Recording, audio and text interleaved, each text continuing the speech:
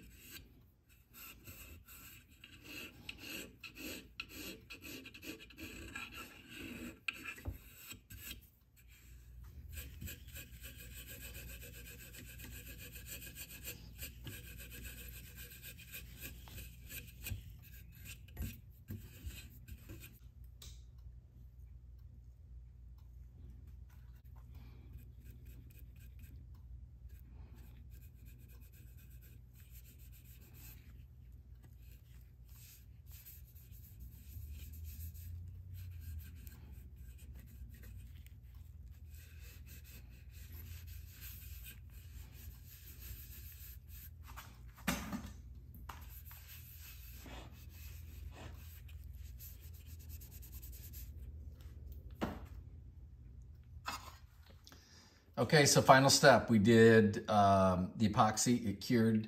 We then filed it. I used Iwasaki rasps. I used a three millimeter round and six millimeter flat. Touched it off in place and then wiped it with a TransTint um, coffee color just to add a little bit of color back in. It's slightly darker on the tip than it is uh, on the body of the, uh, the, of the tote there. And then I hit it with a quick shot on each side and underneath with a lacquer, just a rattle can spray lacquer. Masked off, I slid some cardboard in here to kind of protect the plane. Then Johnson's, um, or not Johnson's, but Minwax, Paste Wax, Special Dark. And you saw that can, I put that in the frame and then I let it dry, right? And now if we go into this guy and kind of buff off that wax, it's gonna leave a shine and it's gonna be protected and might even be a little too shiny. And if that's the case, you can go back with your steel wool and just kind of knock down some of the sheen and uh, give it a look like that. So it's got a nice used look.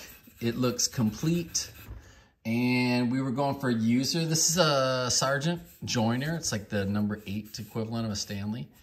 Um, and uh, a great user plane that's going to be for sale by the owner. And um, now what? Um, we weren't really going for full restoration. I didn't want this to look like it was brand new and have it stand out when the rest of the plane, which is in excellent shape, um, just wouldn't match. So leaving some user marks and the wear and tears on there. You could probably even put a little ding or two. Sometimes I distress my my um, my work and I'll just put a little couple of marks or dents in it and it takes away from that newness and gives it something like, um, you know, that like it's been there. So what else did we do? G2 epoxy, of course, it's System Three. It's the absolute best epoxy out there. There's a link down below if you're interested in purchasing System 3 epoxy products, um, use my name, get 10% off. I'll put that in there as well. And how do we know our epoxy's cured? You've seen it is cured. You've seen me do this before, but our little mixing cup, I always break that apart because what's in the cup is what's in the, the woodwork, right? So here's our little puddle. And if I bend this guy, it's got a little bit of flex to it. And we know that it's cured. And um, I don't want it to shatter, but man, I can't even break that. So it's a silver dollar size. I can put a warp on it. I can give it a little bend. But boy, is this stuff good stuff. That is G2. I'm not gonna hurt myself trying to prove a point.